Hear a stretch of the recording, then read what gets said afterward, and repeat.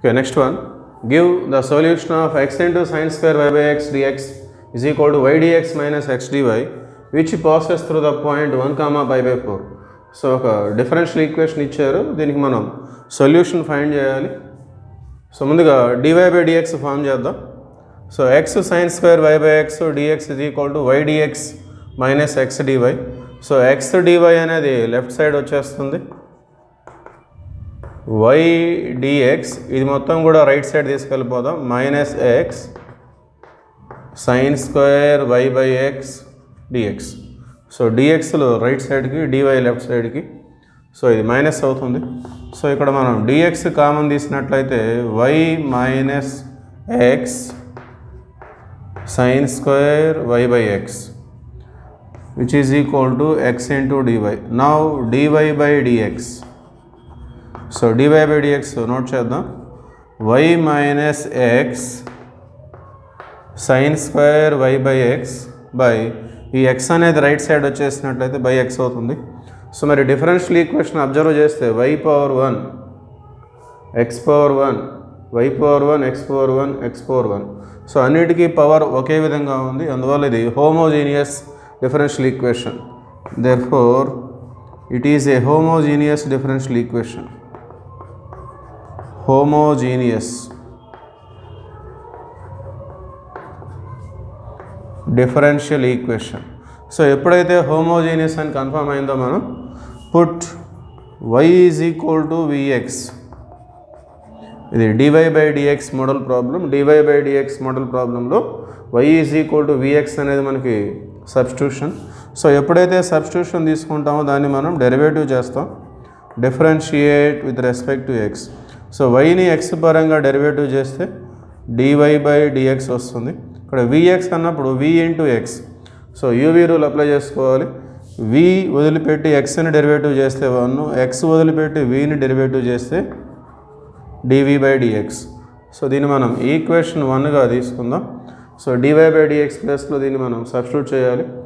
So one implies dy by dx means v plus x dv by dx. So v into 1 అంటే v plus x dv by dx is equal to y means vx minus x sin square y అంటే vx by x by x.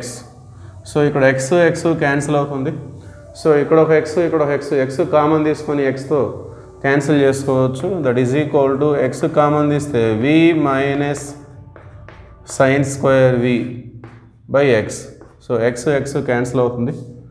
Which is equal to v plus x dv by dx so remaining v plus x dv by dx is equal to v minus sine square v so రెండు పక్కల plus v plus v so రెండు పక్కల same ఉంటే మనం cancel చేసుకోవచ్చు. ఒకే పొజిషన్లో so remaining x dv by dx is equal to minus sine square v నా we have to separate the variables ఇప్పుడు వేరియబుల్స్ని సపరేట్ చేసి ఇంటిగ్రేట్ చేస్తే ఆన్సర్ వచ్చేస్తుంది. Therefore dv by minus sine square v so వీలన్నీ left side ఎక్స్లన్నీ right side so x by dx right side వెళ్ళినట్లయితే dx by x అవుతుంది. And it become minus cosecant square v dv is equal to dx by x so sine square v అనేది పైకి వెళ్ళిపోతే cosecant square v minus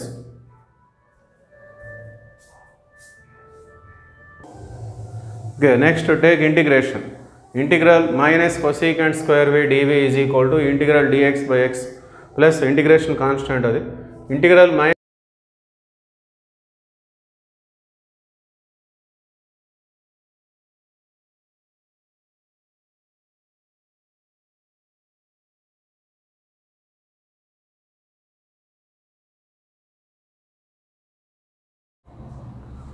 okay integral minus cosecant square v dv అంటే cot v వస్తుంది. Integral dx by x log mod x plus c so నా put వి so v అంటే y అంటే vx కాబట్టి v is equal to y by x therefore cot y by x is equal to log mod x plus c it is the general solution but this equation passes through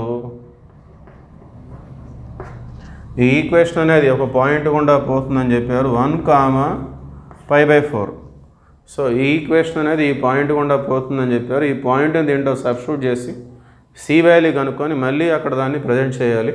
so x ప్లస్లో one y ప్లస్లో pi by four so substitute చేసినట్లయితే cot y అంటే pi by four by x అంటే one so totally it become cot pi by four that is equal to log mod x means one so totally it is equal to log one plus c cot five by four అంటే one వస్తుంది log one అంటే zero plus c therefore c is equal to one therefore required solution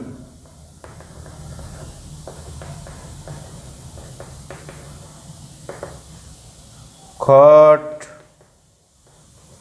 y by x is equal to log mod x plus 1 c value 1 దాన్ని అక్కడ present చేయాలి therefore this is the required solution